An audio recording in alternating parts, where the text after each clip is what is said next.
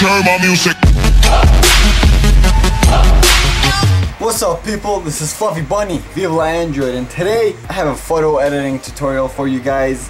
A lot of you have been wanting this for a while, so here it is. And before we get started, here are the top pictures of the week on Instagram, hashtag Viva La Android. Now, if you want your picture to be here on next episode, make sure to tag your picture Viva La Android on Instagram. I'll check it out. If I like it, I'll put it on my next video. And for this edit, you're gonna need two apps. The first one's called Phonto and the second one's called Photoshop Touch. Now, Phonto is free, but Photoshop costs money. Now, I'll have a link for it for free down in the description of the video. Just click it and you should be able to download it. And in this video, I'm gonna be showing you how to do this picture right here where you have a bunch of text right here and the text itself is a picture. So it's really easy and simple, but it's a process to go through to get this effect and I'll show you guys how to do it. First off, you wanna go into Phonto and just click right here in the top right and make a new plain image and just use a black image. You, need, you want the background to be black and just press use and there we go. Now I'm using a square picture because it's just for Instagram it works perfect.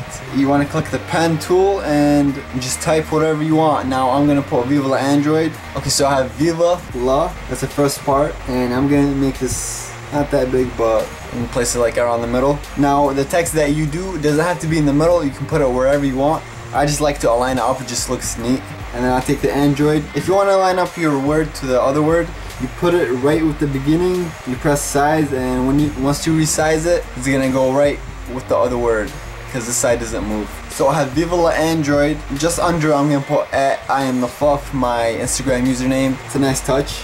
Here we go. I have it, and this one's gonna be kind of small, and you just want to put it right there.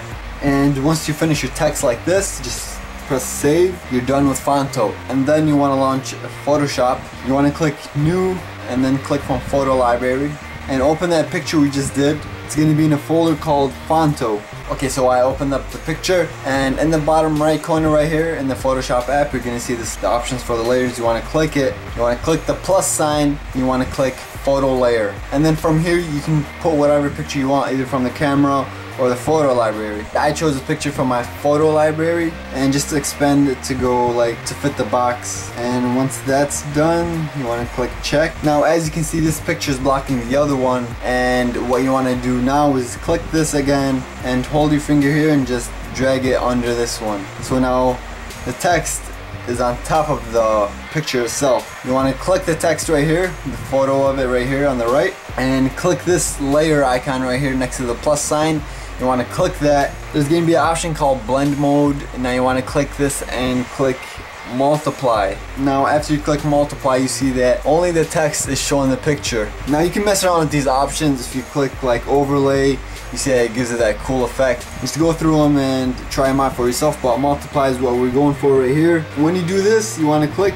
the picture right here, maybe if it's off or something. If you click the picture and then you go to this and sign right here, there's an and logo. You click it and then you click transform and then now you can move the picture around I'm gonna keep mine like that and once you press check keeps it like that. And then now that you have the picture selected you can actually go to effects and put effects on the background picture and it'll show up on the picture.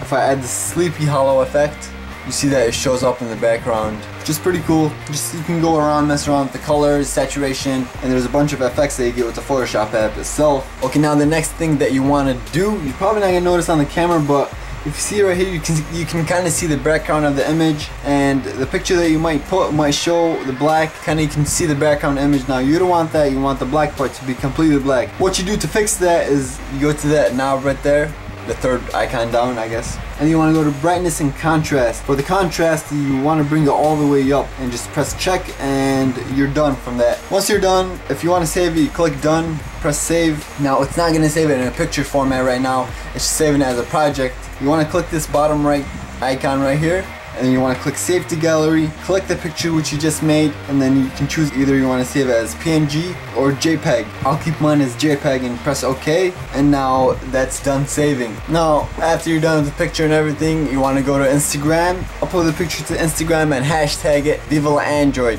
You do that and I'll like every single picture that's tagged on Viva Android. I always do that. And just upload it. You might have a chance of being on my next video. Also, if you want to follow me on Instagram, my username is I am the Fluff. Make sure to follow me on that. And here's this week's comment of the week.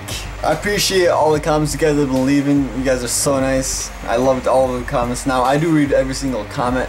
I might not reply to every single one, but I do read every single one. It'll be hard replying to each one. But yeah, thank you for all the comments. And I hope you guys enjoyed this video. If you did, please make sure to leave me a like. A lot of you have requested this video. And if you got an Android, make sure to subscribe to this channel. Make sure to share this video. And like always, Android for life. Peace. Could lose it all. Would you feel comfortable with the man you used to call Tyrone? Call him Hendersin. Working every hour, every second, every day, just so they will remember him. Everything that he stands for, everything he embraces. So if yes is what the case is, um, baby, we don't need a better judge. No, just trying to do what they never does. So let's just let the past be the past. And girl, I just really wanna ask.